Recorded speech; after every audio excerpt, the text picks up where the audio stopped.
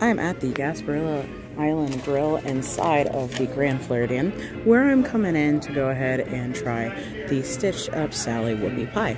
Uh, if you try to order on the app, the app mentions that you should be a guest of the resort, but if you come right in, they'll let you order. There's actually people manning the registers right now.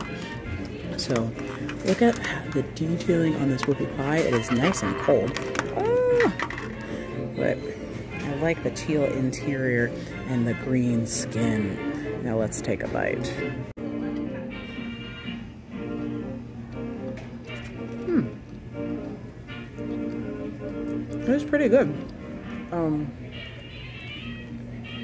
no bad aftertaste so far, which I've had recently. Kind of like a minty flavor? I can't tell.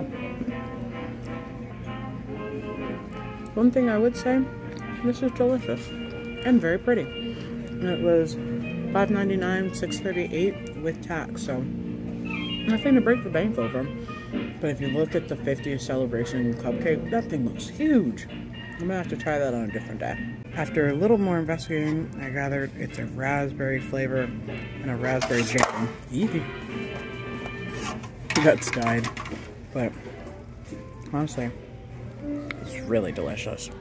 Seriously recommend.